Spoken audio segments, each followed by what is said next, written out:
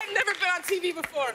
Oh, now, here's the situation. Yes. Uh, either team can win. Whoever gets this passes 3,000. Kelly and Mary, 2,500. Casey and Kalina, 2,400. The name is worth $800.